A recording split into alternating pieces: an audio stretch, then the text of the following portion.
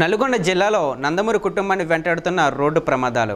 ఈ రోజు జరిగిన రోడ్డు ప్రమాదంలో నందమూరి హరికృష్ణ కన్నుమూశారు.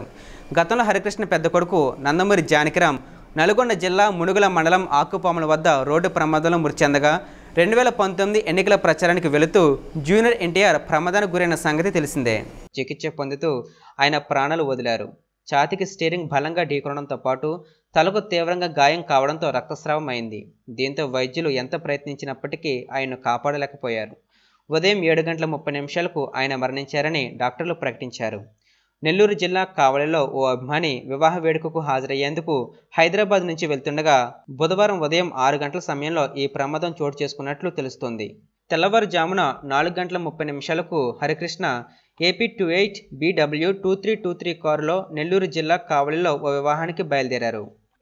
అయితే అనుకోకుండా ఈ ప్రమాదం చోటు చేసుకుంది. ఈ ప్రమాద సమయంలో కారులో హరికృష్ణతో పాటు మరో ఇద్దరు వ్యక్తులు ఉన్నారు. ఈ ప్రమాదంలో వెంకట్రావు అరికెప్పుడు శివాజీ గాయపడ్డారు. కారు ఎడమవైపు నుంచి కుడివైపునకు పల్టీ కొట్టి ఎదురుగా వస్తున్న మరో వాహనాన్ని రాసుకుంటూ వెళ్ళింది. ప్రమాదం జరిగిన పది నిమిషాల్లోనే ఆయనను ఆసుపత్రికి తరలించారు. ప్రమాద విషయం తెలుసుకున్న హరికృష్ణ తనయులు ఎన్టీఆర్ కళ్యాణరామ్ హుటాహుటిన కామినేని ఆసుపత్రికి చేరుకున్నారు.